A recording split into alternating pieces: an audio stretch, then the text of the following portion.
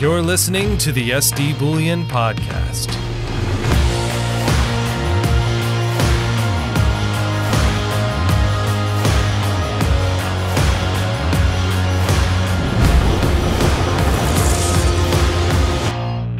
Hello, everyone, and welcome to our first ever in house, in vault SD Bullion podcast. Uh, very excited. We have some very special guests here today, which we'll introduce to you very shortly. I'm Chase Turner, CEO of SD Bullion.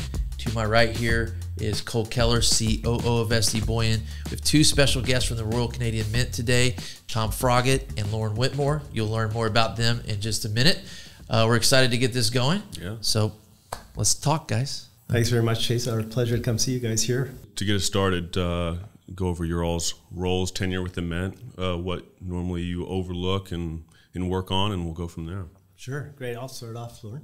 Um, so, Tom Froggett. uh, I'm Chief Commercial Officer at the Royal Canadian Mint.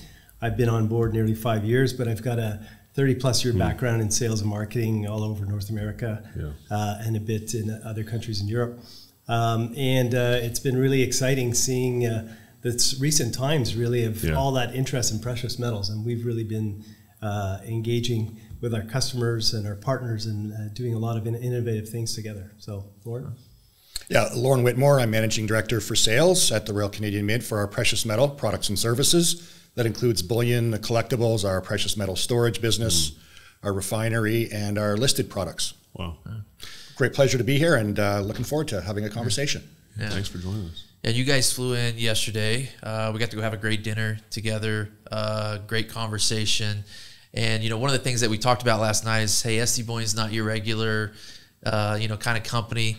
We don't want to have a corporate, you know, dialogue that, that the viewers don't really enjoy. We really want to get into some things that we think the viewership will really find uh, interesting. So it's definitely going to be our, our, our goal today with that said, you guys have come and You, you toured the facility this morning. Before we before we move on, what was your what was your thoughts of the facility? You, you guys have been in quite a few, so I know you visit quite a few facilities. What, what was what was your thoughts here?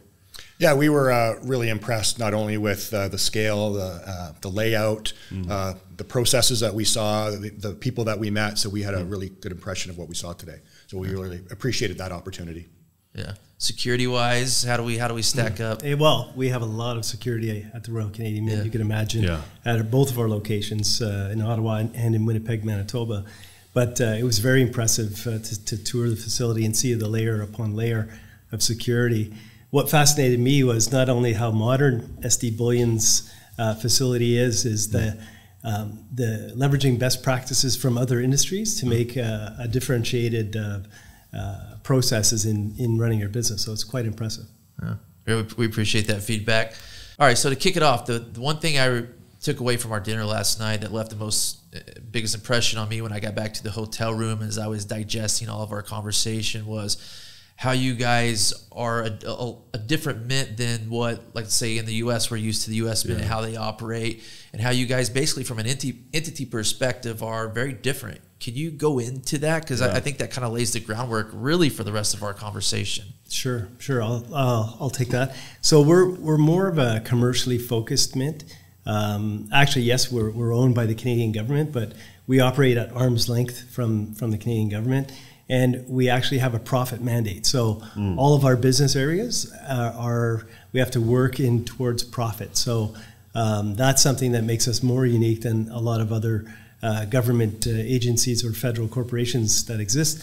Having that profit mandate really makes us focus on being customer centric, as well as we have to balance a social mandate uh, that we do have um, a social role for the producing Canada's circulation coins, as well as coins for uh, over 80 countries around the world.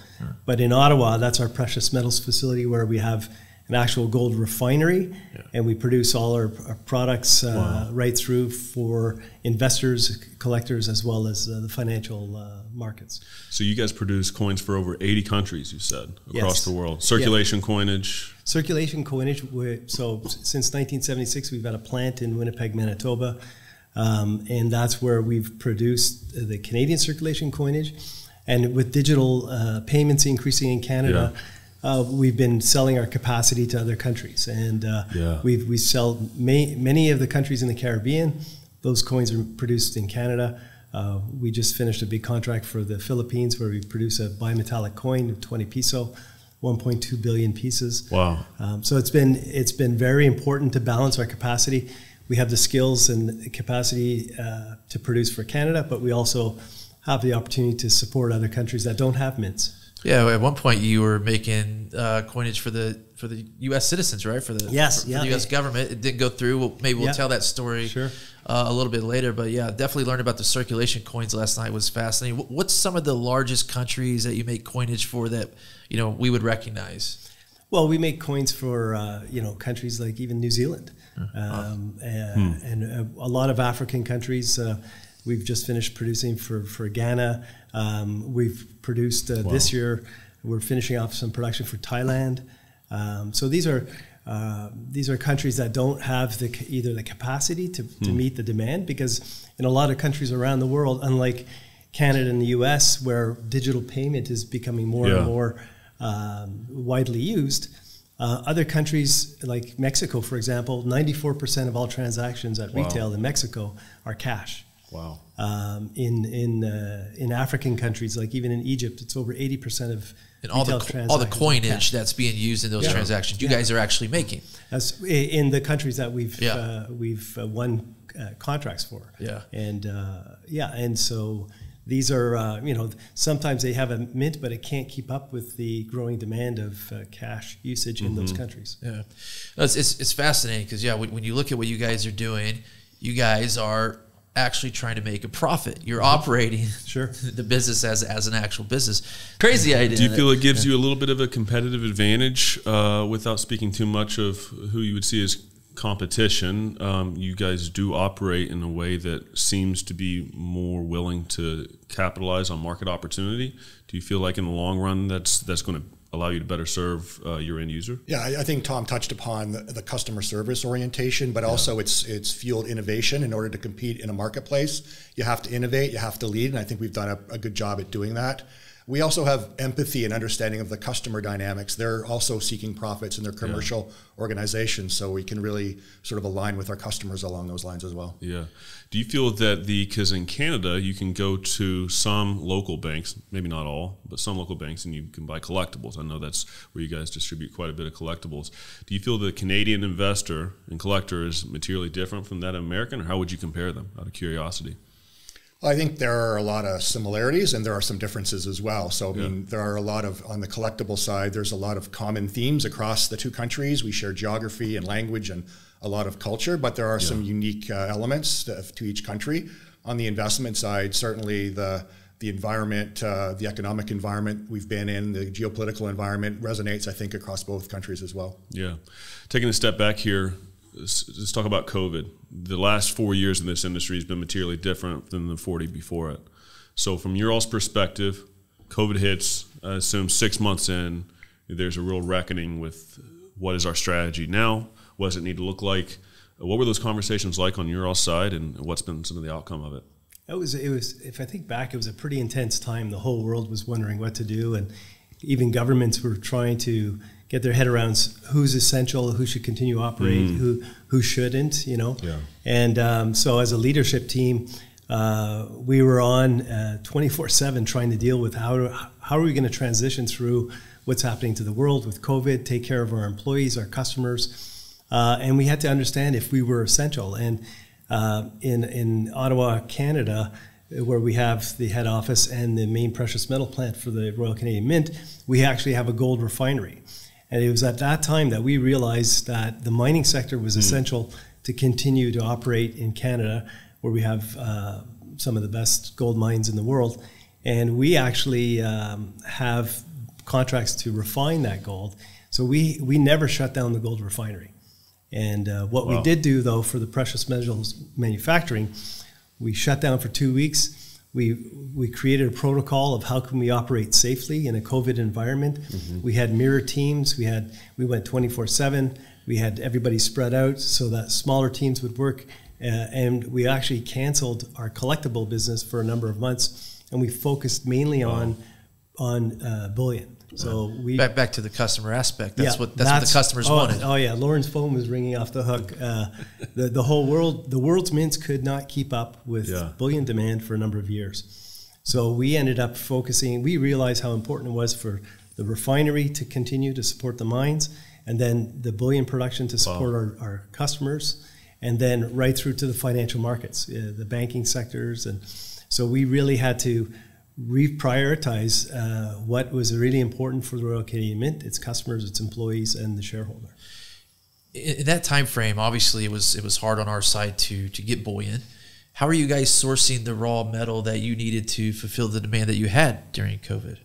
Well, I think uh, Lauren knows a lot about this. I think we're pretty fortunate. We've got a great team that sells our refining services to the Canadian mines, and so Yeah. the the access that we had to metal was phenomenal. Uninterrupted. Uh, yeah, so we and in the last number of years, we've been growing our expertise and our efforts, and really uh, engaging with a lot of th these Canadian mines, and that became a big priority push for us. And uh, Lauren and his team have, have done an amazing job uh, winning those um, those accounts, and and and our our refine, gold refinery is super busy. Um, so that was that's part of it. You know, if there's one big lesson we learned during the pandemic is being vertically integrated and managing supply chains and all that's super important. So the fact that we were able to control our supply was uh, was kind of a big deal, and we think it uh, served us well. Absolutely. Yeah, again, another major difference between you and the U.S. Mint. We were talking last night. They don't even make their own blanks. Literally, they just strike the coin.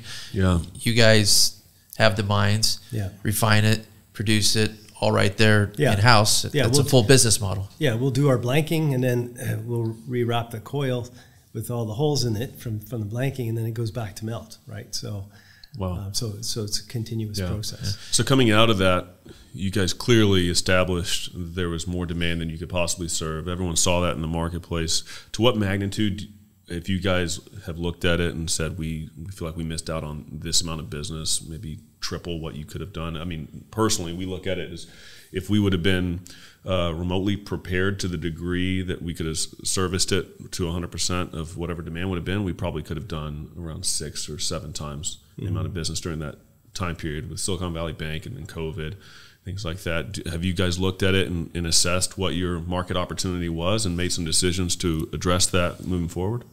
We've, I, I just tell a little bit, Lauren, we did look at it, but we had our record years as well. Yeah. Uh, so a lot of the process improvements we did in production and the prioritization of what, what did we have on the floor that was going out was all done with the engagement and Lauren and his team had with with our customers. So we we prioritized the mix of what needs to be going out, what should we focus on, how uh, we added more shifts, things like that. But we also um, realized looking down the line, we didn't have a lot of access to um, to silver that that we would want to. So now what we've done is in the last uh, year and a bit, we're investing in a silver line in our Winnipeg facility where we produce the circulation coins. We're going to be doing our own blanks um, uh, on top of the blanks that we do in Ottawa. But now we're going to be uh, we're, we're dramatically in increasing our capacity for silver blanks. It's not as simple as just leaving a striking machine on a little longer, is it? no. Huh? That was It's- it's big, big capital investment It's for a sure. big Yeah. capital investment, and it's a whole new process. It's one that doesn't really exist uh, today. It's innovative technology that we have that Okay. we're establishing in Winnipeg, and will be operational probably by Q2, Q3 uh, of this year. What's the time frame to respond to increased demand? You guys say we need more. How long does it take for you to feel like you're serving the market with more? Uh, we're extremely nimble now. We're rolling out, you know, production ready facilities this year, like this quarter, and Wow. so Yeah. we're going to be extremely nimble. And I think the other thing to think about not only is capitalizing on opportunities important, you know, uh, commercially for us, but if you think of the end investor, I think an undersupplied market ends up paying too much for product. So the fact that we're able to supply markets allows us to change that supply demand dynamic, and I think that's good for the end investor as well. We always think about that end investor. Yeah, it's one of the worst times to enter the market whenever there's this massive wave and premiums are you know up five x. Um, we're as frustrated with it as the end end user is. I'm sure you guys are as well because we would be more than happy to sell more ounces Yeah. at, a, at a tighter spread and service more people. Another benefit of us investing in our in our, our Western Canadian plant with the silver line is it's going to open up more gold capacity in our precious metals plant in Ottawa. So we'll take a bit of pressure off the silver and we'll add more hmm. capacity gold. So that's going to, in the end, help our customers during those peak demands. That's awesome. Yeah. Well, One of the stories from last night about COVID that was interesting. You guys actually had to defend your position that you were essential, right, to the Canadian government. So tell us how that went down. What was the time frame? What would have happened if they said you weren't essential? Yeah. Well, that was it, that was really a pretty dynamic time. It was all uh, it was all live, right? So decisions were being made by even by governments, and so in Canada we have provincial governments which were overseeing the mining sector. So it was more from that that perspective, which is like a state government, right? And so we were watching uh, every day what are the decisions that the governments were making. And that's when they made mines essential. So that was helpful. But then we realized that the mining companies need liquidity. And so they get liquidity by delivering their doré to market, getting it, ref- uh, us refining it, and then out to the financial markets or into production for investment products. So that the, so those those were daily uh, decisions that were being debated daily, and, and we had to articulate it on how we would support the uh, you know our role in the Canadian economy was really supporting the Canadian mines right through to the financial markets, to Canadian banks and others. It's, it's amazing how it's all tied together. Yeah, e- exactly. That that was, I think, an epiphany for us at that time, and re- it really helped us with our prioritization of what are we going to do, what do we focus on. It allowed us to shut down the collectible production lines for for a number of months, focus on bullion because the market was uh, demanding for that investment. Uh, investors worldwide were very nervous and wanted uh, gold, wanted silver. Yeah, you guys And- probably provided the most amount of material into the market during those times whenever it was really, really tight and people were shutting down. From our assessment, that it felt like the most widely available product was stuff that was coming out of your all's facilities. Yeah, we, we track um, you know market share and, and you know global share of market uh, quite closely, and we know that in 2021 and 2022 we were in fact the number one one ounce silver bullion coin and the number one one ounce gold bullion coin in the marketplace, and uh, in the world. yeah, in the world. And so Yeah. the ability to be able to supply that market was really key, and uh, hopefully you know we believe it served investors well. What percentage? What percentage of that was U.S.?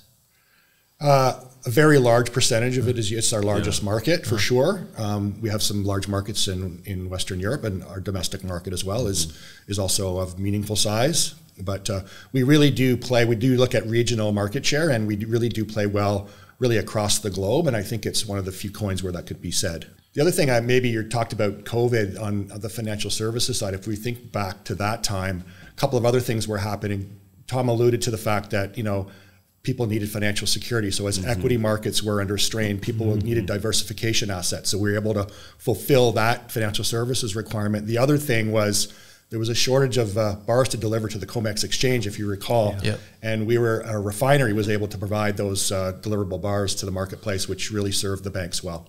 Let's expand on that a little bit because it's really fascinating. A lot of people don't understand that market dynamic. What, from your all's perspective, what did you see?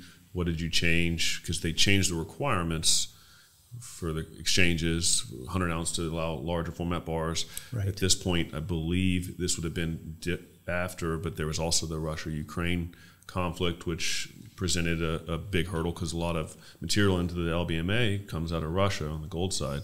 So, what was your all's uh, perspective on all that?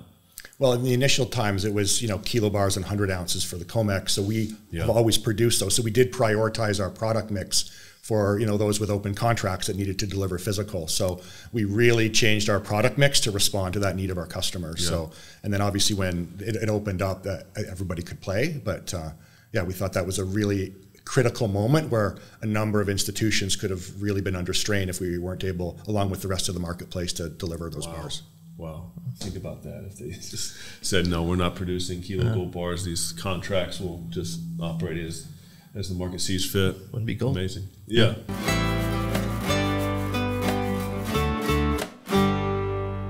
Hey, SD Bullion fans, we've got more of today's podcast coming up for you in just a minute. If you're enjoying today's podcast, please take a second to toss this episode a like and subscribe to the SD Bullion podcast for future episodes. And if you're really enjoying today's podcast, we encourage you to check out some of the incredible products from today's featured guest, the Royal Canadian Mint, over at sdbullion.com. By the way, did you know that SD Bullion is giving away some free silver? Seriously, it's free. SD Bullion is giving away 500 of their one ounce Silver Tree of Life coins in the Silver Tree of Life Monster Box sweepstakes. And who doesn't want free silver? Entering is super easy, so check out the link in the description down below for your chance to win a Monster Box of silver from SD Bullion. So, Lauren, one of the things I definitely want to get into while we have you here today, because we hear it on the phones every day at SD Bullion. Uh, four nines fine. You guys, I think, were the first ones to do that, and you- you're still doing it. What's the difference in four nines fine versus three nine three nines fine? Does it really matter from an investment standpoint? Uh, we have to answer that question every day. So, what is the official answer from the Mint?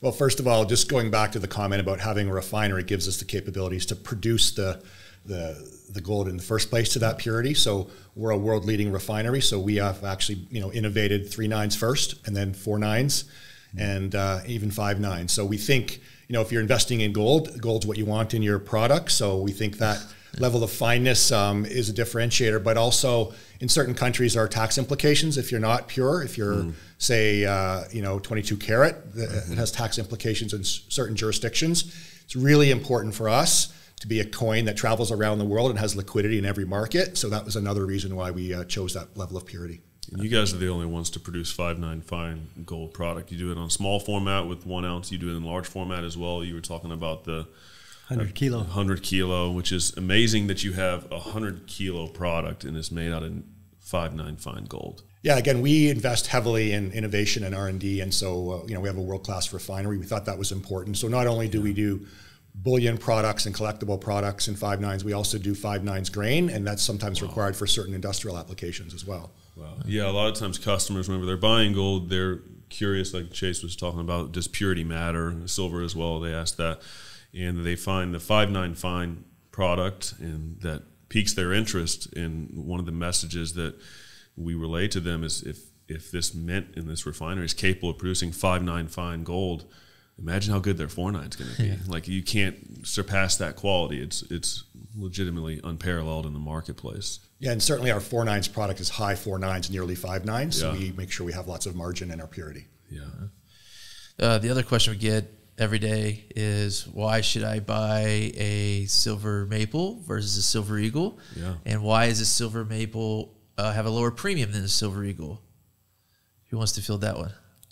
Okay, so um, a couple of things. Let's start with the two ones that rhyme. So purity and security. We talked about purity already. You know, we think that's uh, certainly a differentiator. Security is really important. If you think about it, uh, people buy bullion primarily to protect their financial interests and to um, if you're if you're protecting your financial interests with bullion, you want to make sure your bullion is protected as well. So we want to make sure that we have advanced security features, and we've we're really innovative in that regard. So we have a number of features, including radial lines. We have uh, micro engraved laser mark that's hard to duplicate. We actually have a, a digital uh, verification platform called Bullion DNA that actually allows you to use a special machine and actually verify by going back to our servers that it was in fact produced by the Royal Canadian Mint. So when you're putting your wealth in those things, you want to make sure that uh, your, your investment's secure in a secure product. The other thing is, if you think about it, if you want to be a counterfeiter, if you want to counterfeit something, you want to do something that's easy to counterfeit. So we want to Yeah. use that as a deterrent. Yeah. Where do you f- see most of the counterfeits coming from, or is it all over? It, it comes from different places at different times, and it's it's difficult to predict where the next one's going to come from. So we make sure we've got a bulletproof platform that isn't uh, you know situation specific. Yeah, a lot of mints have really struggled with that, uh, where they, they think they have technology, they maybe have invested in a minimal degree, but they they find the marketplace uh, notices quite a bit of fakes. We haven't seen that with your all's products. We, uh, we don't expect to because you guys have invested so heavily. You also, in I believe in 2018, released MintShield. Or, or came to market with the, the announcement that MintShield is a part of your productive process. A lot of customers, um, if they've been in the marketplace for a while, They understand, you know, spotting is something that naturally occurs on uh, produced silver product, and that was one thing you guys were trying to address there. So, uh, do you mind speaking on that? Yeah. So again, staying with the theme of protecting your bullion. So this Yeah. is just another way of protecting the surface of your silver coin. So the milk spots or the white spotting was something that was uh, common across, not that common, but prevalent enough that it required a solution across all bullion coins. So we thought we would again continue to innovate, and we found a way to produce this MintShield uh, protection, surface protection, and uh, we actually tested it extensively. We actually simulated aging to make sure that the uh, protection would endure. And in fact, our experience since we launched that has been extremely positive, and it was really very effective. Yes. So how long did that take? You mentioned aging. How do you know how long the process took from start to finish when they you know first started doing the R and D? It was denominated in years, not weeks or months. Yeah. Um, the exact one I don't know. And we can also simulate aging. Once we apply that Ah, okay. technology, we can simulate aging in a you know a lab environment as well. So when we first go out to the marketplace, we you know feel confident that it's going to be effective for a long period of time. So you guys don't use whiskey barrels to age your silver coins while you're figuring out MintShield. You, No. you have a different technique to age them. Exactly. That's just at the holiday party. yeah. Yeah, it's incredible. We're not against aging whiskey though. yeah, it's it's incredible to hear how much investment you guys have made in effectively your customer with security and anti-counterfeiting things, as well as the MintShield. Uh, it really protects the end user and gives the investor confidence that what they buy today is going to be worth that plus some uh, in the future. Yeah, we try to put ourselves in the place of the end investor. Uh, Without them, clearly, we don't have a business. So uh, we're, we're playing the long game, and we want to make sure we have long-term customers that see value in the product that uh, that we deliver. Yeah. Do you feel like your silver bullion product's the best in the marketplace? Best Absolutely, value? absolutely. I think you know if you look at value relative to price or premium, again, we continue to invest in innovative uh, security, other features, uh, fineness, and all of that. So uh, we really do think from, and we, we of course like our own design as well, but from a design, purity, security point of view relative to price, we think we offer tremendous value in the marketplace, and the marketplace has validated that with with the numbers. Absolutely. Yeah. globally speaking, the maple, silver, absolutely gold, even more so. It's just so widely accepted. The value proposition is overwhelming. It's a tremendous product at a great price. Uh, people love it. Yeah, and the other thing that sometimes people don't think enough about, again, um, it's an investment product. At some point, you need liquidity. So having a product with a lot of liquidity is really important. So if I'm wanting to sell back my coin, I want a popular coin that people are willing Yeah. to buy at a good price because they know they can resell it. And I may be in uh, Cleveland, Ohio today. I may be in Singapore tomorrow. I want to make sure, no matter where I am in the world, world, I have a coin that's popular and liquid in every single market. And I, I think we're quite unique in that regard. Yeah, that's one thing we tell customers pretty often. You want to be in the market, you want to participate in the market, but you don't want to be the market. So that's one thing that you always have to weigh. You, there may be something a little bit cheaper, but if, if you can't go find a buyer for it uh, relatively easily, be it us, sell it to SD Point, fine. Sell it to your local coin shop. Uh, it's it's fine. It's whatever you elect to do. But if you can't find a buyer, then uh, if, in the event that you do want to sell, then that's a problem. Right. Agreed. Yeah, we want to make sure not necessarily that we're the cheapest, but that we offer the best value long term. You know, one angle I was not expecting to hear from our customer base, but uh, what what happens is you have a lot of people that will say, uh, "Look, we're, we're buying gold and silver because we don't trust the U.S. government, we don't trust the U.S. dollar." They'll buy uh, the Canadian maple leaf because it has a face value. In worst case scenario, they'll go across the border to the north and use it there. I was pretty surprised to, to hear that from the customers. I just wasn't expecting that to be to be a reason to to, to go with the maple leaf. But Interesting. yeah, they're offshore. Near shore. Yeah, yeah, yeah, they're nearshore playing. Yeah, they're offshore plan and the nearshore playing. Yeah, yeah. So you guys have, of course, large format bars. We see over there. We have a kilo gold bar. There's hundred ounce silver bars, and then there's things as small as the maple grams.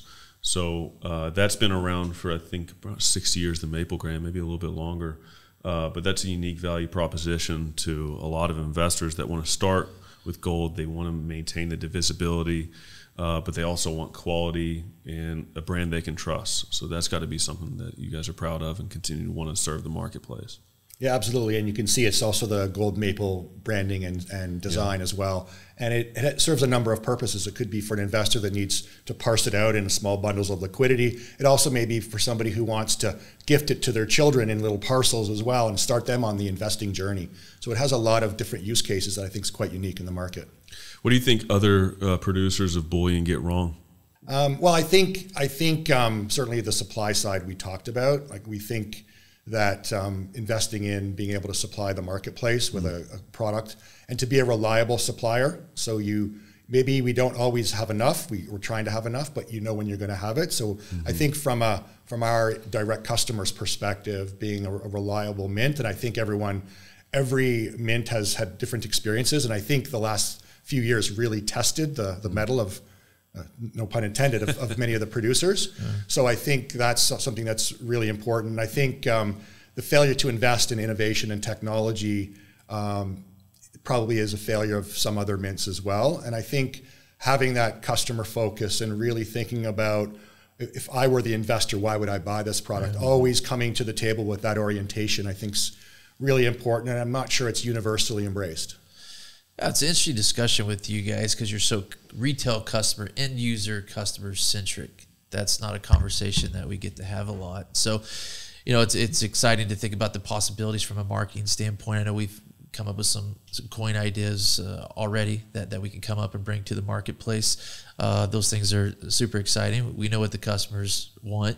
You guys are very interested in serving the customers. So I think we'll have some really good success in, in the future bringing those uh, programs to market. Let's talk about collectibles. You guys spend quite a bit of time uh, doing collectible products as well. That's a, a good revenue stream and, and, profit generator for the Mint. Um, what do you see the role of collectibles in the marketplace uh, and serving, obviously, local Canadians? It's a little bit different than the average American, but um, there's certainly a huge base of people. That's their entry point into the market. Mm-hmm.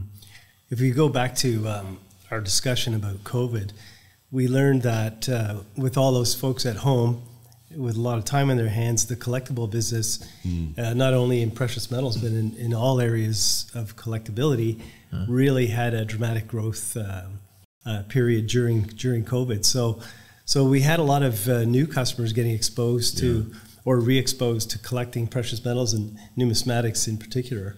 One thing that we did do um, just prior to the uh, to COVID was we did do some research on on bullion. You know what gets people in, in bullion in the beginning, and found a lot of it was a new demographic, a thirty something that mm. started. They were gifted when they were young, and then they now as a young professional they're interested in diversifying wow. their portfolios. Yeah. But they also had an appeal for things that were collectible as well. So there's this kind of new investor collector that we're monitoring and trying to appeal to, and that's when we started the premium bullion line, where we can offer uh, core bullion product with a bit of attributes of numismatics mm-hmm. of yeah. collectability, like a privy mark or a mintage. Yeah. So that gives them an kind of an entryway with a little bit of something special. So, um, and we've really focused our collectible strategy on premium products, and that's kind of going in the direction of the investment aspect of the collectability mm-hmm. as well as the themes that uh, people like mm-hmm. to see. And you guys produce roughly around 100 collectible products annually, right? Some about, of those are repeat. Yeah, we do about. We used to do a lot more um, uh, years back, and we got feedback from our customers that it was too much, and yeah. so we do about 110 different themes. Um, uh, a lot of some of them are Canadian centric, but there's others that have you know global appeal as well. And so um, we found kind of a sweet spot where 110 themes uh, we're able to sell not only domestically but uh, in Europe, in in mm-hmm. Asia, and in the U.S. as well. Sure. Speaking of Europe, uh, last year Germany passed uh, a law. They started taxing silver at 19%. Is that correct? Was it 19%? That's right. There was uh, uh, something called the margin scheme, which did allow uh, advantageous tax treatment for silver bullion, and that uh, that was reinterpreted okay. um, for uh, providers outside the EU, and so that really had a, uh, an adverse impact mm-hmm. on the mm-hmm. demand for silver because, again, back to the idea that it's an investment product, the premium yeah, sort of matters. So, yeah. on an after-tax basis, it was uh, definitely a negative influence in terms of demand. Now there are all kinds of. It's a very fluid situation where there's a, a number of reinterpretations that are being solicited by hmm. you know interested parties. So it, uh, things continue to evolve in that market, but we still continue to see that as a, a really important market for bullion and for us. Yeah, absolutely. Because Germany itself, uh, before that, would have represented uh, certainly in Europe, uh, maybe a majority of the total demand. Would you guys agree with that? It's our second largest market. Yeah. Okay, next yeah. to the so U.S. And then it was, yeah. and then it was basically yeah. put on ice. So they have a pretty big impact on sales immediately for you guys, or? Yes, it, it did have an impact, and of course, it happened just as the market conditions in general were cooling a little bit after an extremely yeah. high period of demand. And mm-hmm. so, yeah, it did certainly. And I think it takes a while for people to work their way through interpreting it and to react. And, sure. you know, perhaps the market will normalize a little bit and perhaps the interpretations will change. So, yeah. Uh, but yeah, certainly it was a very, an overnight, really uh, dramatic impact. Yeah. What's amazing is if you think about it, the, the people that there's still plenty of actual uh, investment in those territories. It's just a reduction by a large percentage, but there's still a lot of dollars in it. People are effectively voting with their dollar, saying gold and silver, or at least silver, right? Because with the 19% tax, is worth more than 20% of a premium on silver itself. So that kind of uh, provides a window into the mindset of the average uh, investor over there, and they've experienced uh, different uh, developments with their currency over the course of the last 150 years relative to the Americans. So it's interesting. You could you could argue they have uh, better experience, better context, and a, in a more grounded uh, perspective on precious metals and their role in the future. Yeah, I think it continues to be an important asset class, and I you know do believe that it'll continue to have a, a really strong role in people's portfolios. Yeah, I was, I was going to ask has has the sales recovered? Have people gotten used to paying the nineteen percent? Said, okay, fine, I'm just going to to pay the, the tax and get the metal. Have sales kind of rebounded at all from the, the initial dip it took when the law first passed?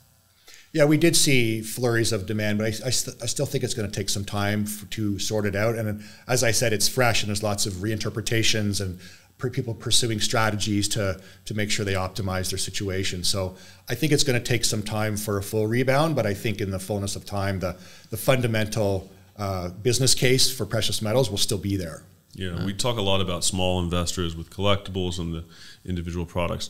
I think what you guys do as well, or better than anyone, probably by far better than anyone, is understanding how to provide value to the large investors.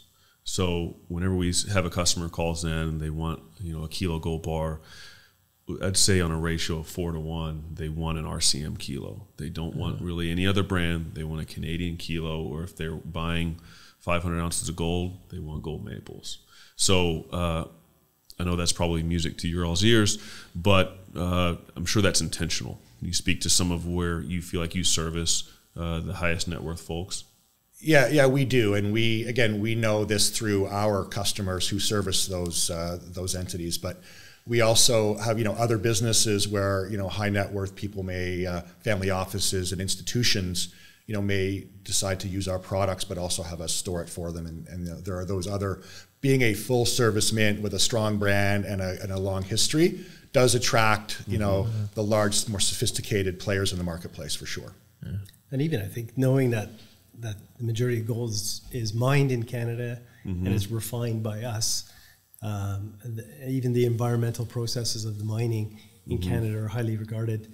Um, so I think there's a lot to be said by those investors getting that that uh, confidence be- behind Canadian mines right through the Canadian refiner uh, being the Royal Canadian Mint. It's not that long ago where there were some issues in the refining business yeah. where it had you know big implications if yeah. you don't have um, gold that's going to you know be accepted and recognized and have liquidity over the long term, then you really haven't achieved your objective of having precious metal. So I think people have confidence in our practices, our ethics that they're uh, secure in the knowledge that they're going to have liquidity down the road. Let's let's dive into that a little bit deeper. Gold that is accepted. Um, specifically, um, gold coming from some regions of the world that are sourced unethically, uh, that is a major concern that a lot of people. It's not a major concern of ours per se. It's a major concern of a lot of investors. And if you have uh, the benefit of perspective and zoom out, like you said, uh, that does represent a constant risk in this marketplace. So, are you guys really proud that a lot of your material does come from Canada? And how do you assess risk in the refining side? Because that's usually where it comes. Yeah, our uh, risk management protocols are very rigorous. We have the advantage of, of being adjacent to, uh, you know, we think the best uh, mining gold mining jurisdiction in the world. So we, it's a bit of luck involved, to be perfectly honest. But Sure. we've taken advantage of building a business around that and leveraging it. We're also implementing technologies that uh, tracks the provenance through uh, blockchain-based technology to make sure that we can actually prove the provenance of the metal that uh, we produce in our products, and that's a really emerging area in the marketplace. I want to be clear, there are other very good actors, and I think there are industry associations that really do enforce. Yeah. Um, but I think um, it's it's becoming clearer and clearer who the good actors are, who the bad actors are, and who we're trying to figure out. It's difficult. It's expensive to go vet that. It just Yeah. is. How do you guys assess partners whenever obviously you have more demand than you can get from Canada? So when you have to go outside of Canada to get metal, how do you assess your partners? Uh, what does that process look like? Where does it? Where does most of it come from?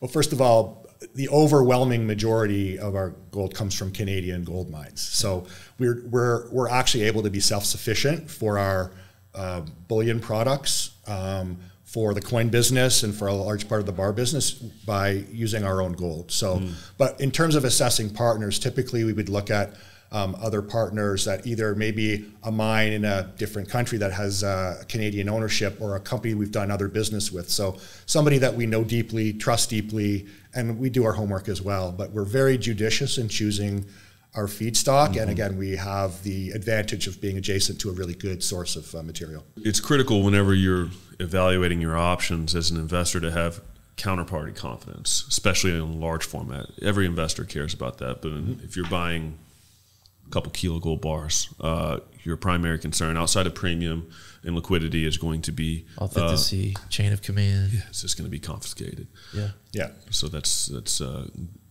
good to hear that you guys uh, invest. What, what, what about on the silver side?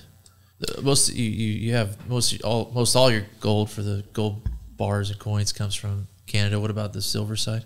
So we, uh, because of the size of our bullion business, we are not fully self-sufficient in silver. But what we've done is we've established a fairly narrow but deep um, supply chain uh, using institutions to source metal from known sources. We only we've selected a few brands that we're really comfortable with.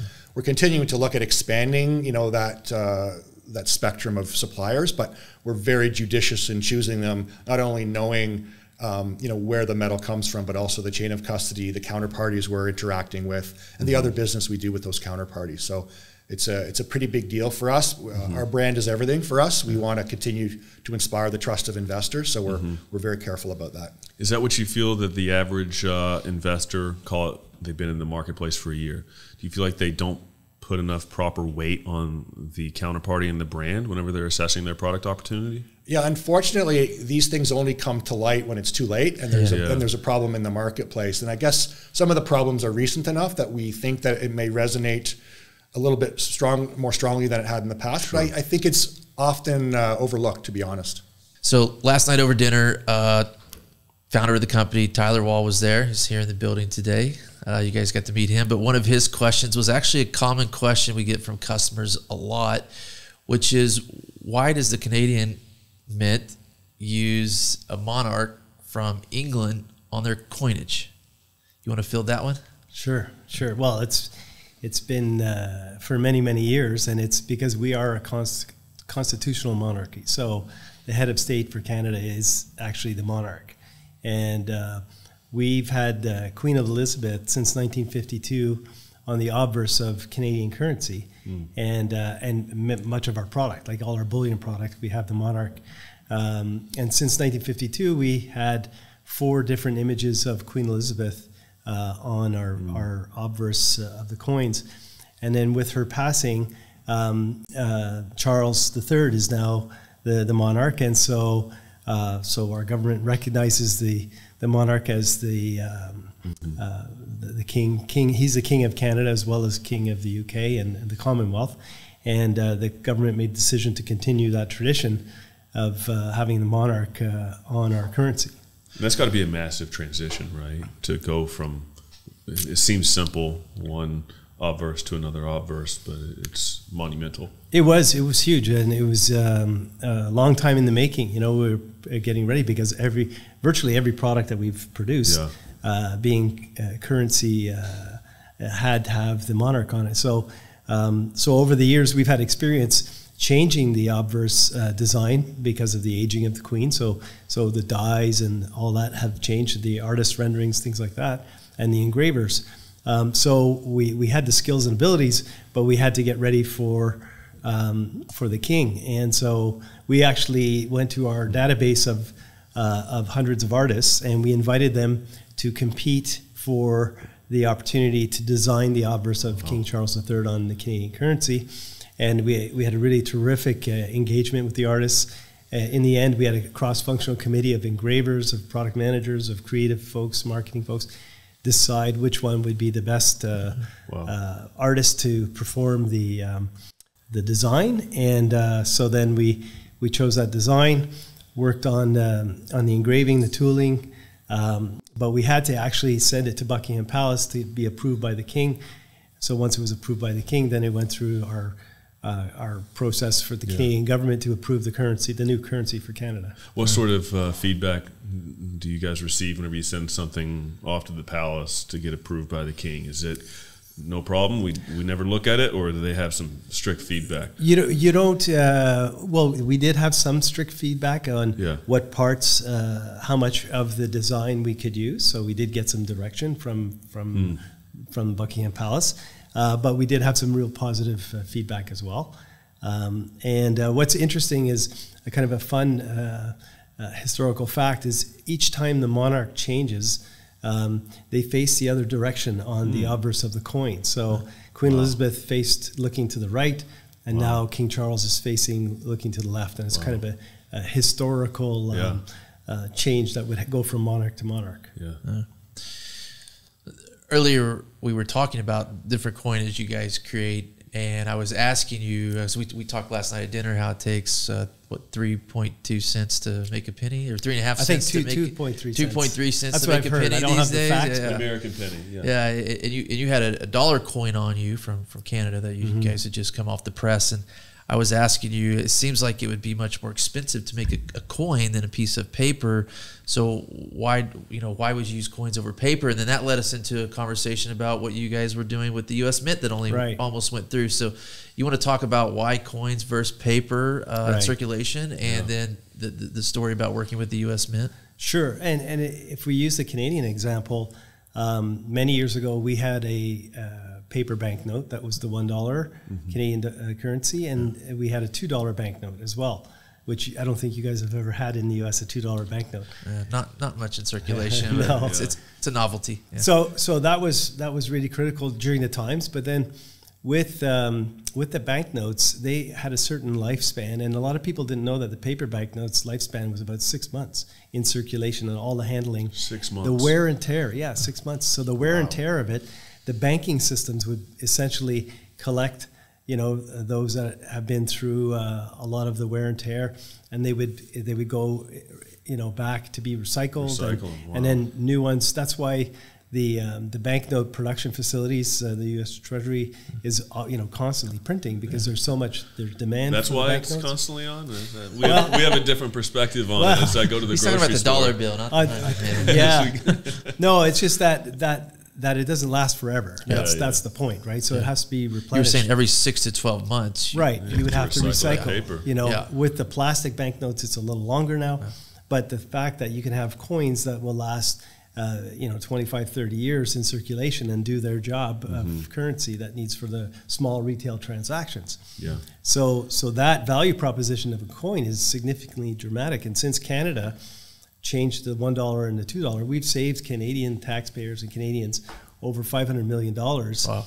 um, in cost, in true real costs, by not having to recirculate and Wow. reproduce banknotes for the one dollar and two dollar, and have the duration of the coins, uh, eh, you know, support Sure. those re- small retail transactions for for decades.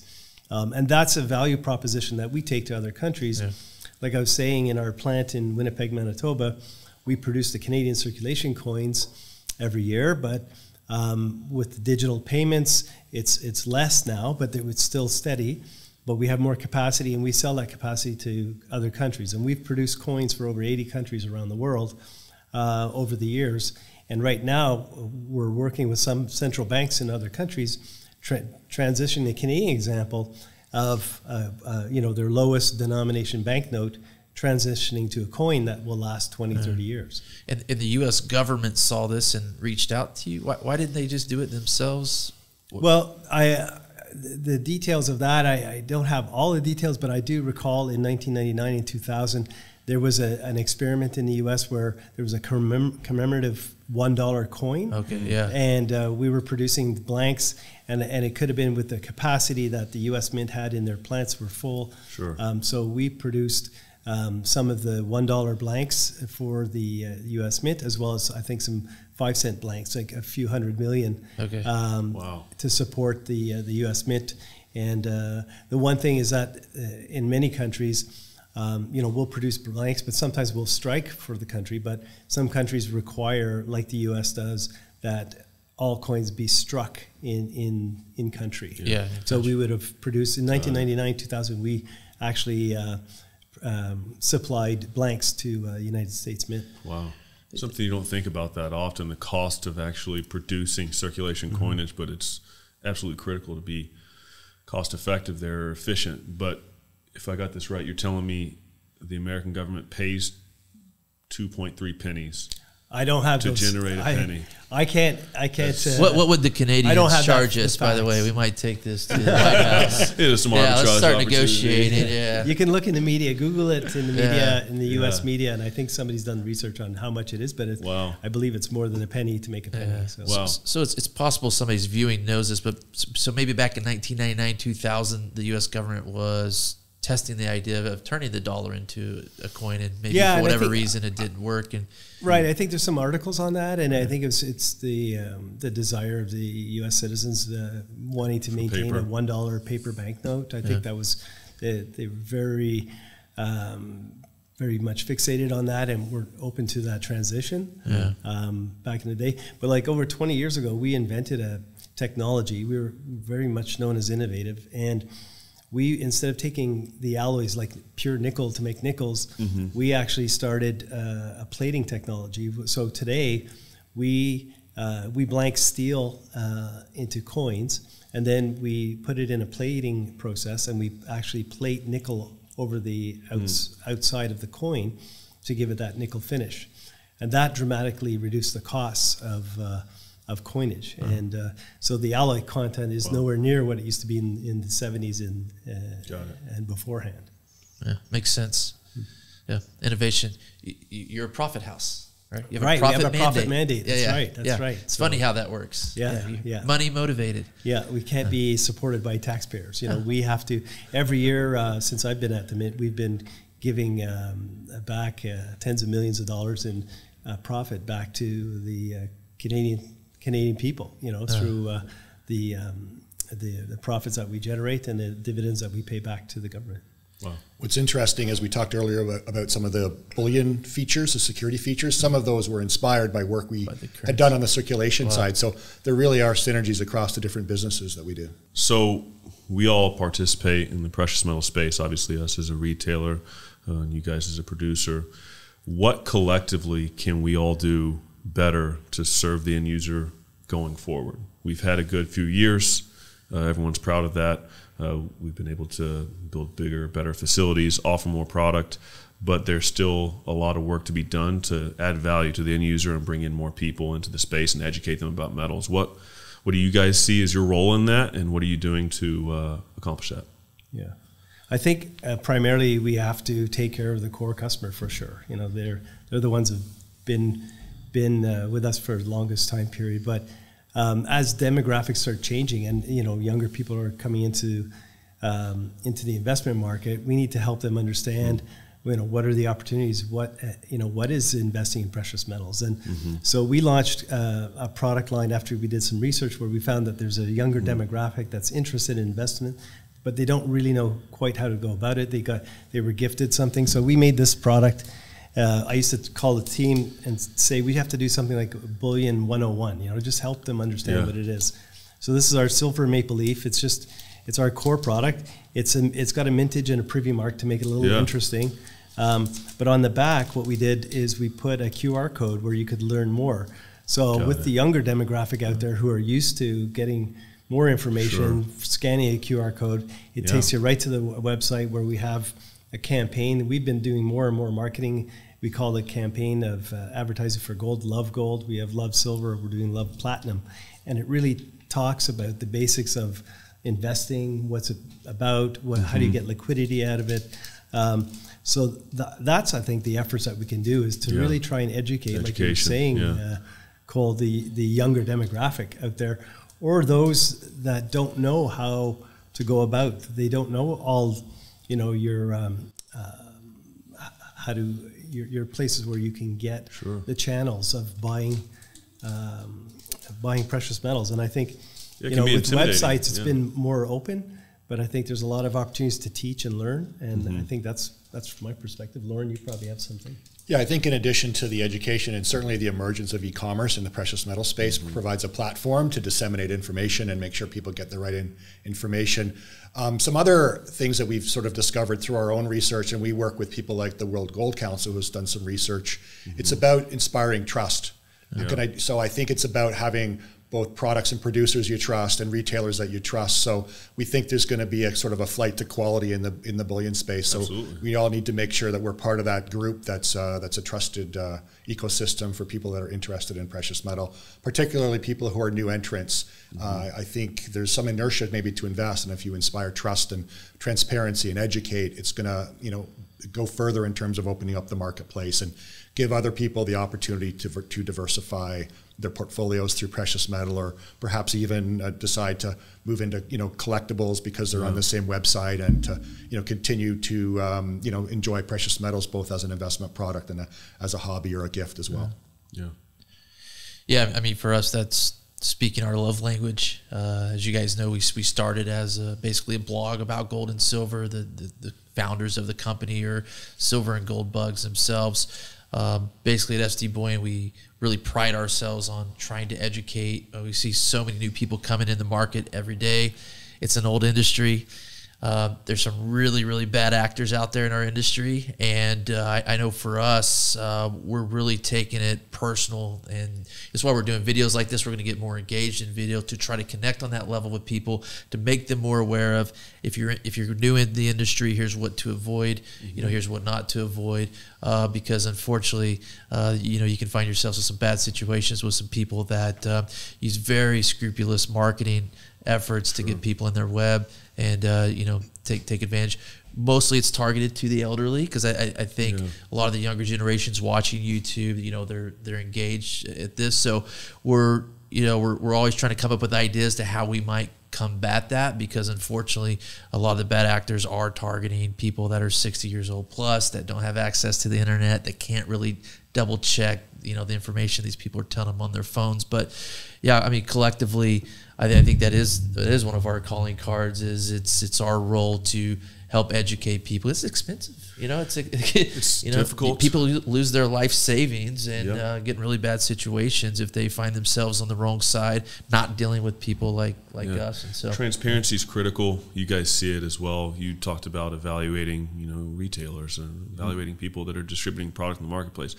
We view it the same way on, on who's producing product and who's trustworthy and who can meet the needs of our customers because we're not going to stop trying to serve the marketplace and bring people into the ecosystem, educate them, be transparent with them, offer really good value on a two-way basis. That includes on the buy side as well. That's one way that the marketplace in general uh, underserves customers is on the buy side. Uh, that shouldn't be such a problem. It's relatively easy to transact on a two-way basis have good process in place test material sell on a secondary market. But education is the key. It can be overwhelming whenever you come into the space and you say okay i want to buy metals. How do i do it? Uh, that you'd think that'd be really easy uh, and there could be a couple information sources where you get all your questions answered. It's a pretty deep topic at the end of the day, so you got a lot of ground to cover, and we got a lot of work to do to continue uh, accomplishing that. Yeah. Guys, I want to thank you again so much for spending some time with us today, traveling down here. again being the guinea pig in our first uh, podcast here uh, in house. And so, uh, out there, you know, if, if, you, if you like the material, give us a like. If you have, please give us some feedback. Uh, let us know how we did. Let us know what topics we missed. Next time they're in town, we'll make sure that we cover those. And uh, yeah, we just appreciate you guys viewing uh, today and uh, safe travels back home. Thank you very much. time, guys. Merci beaucoup.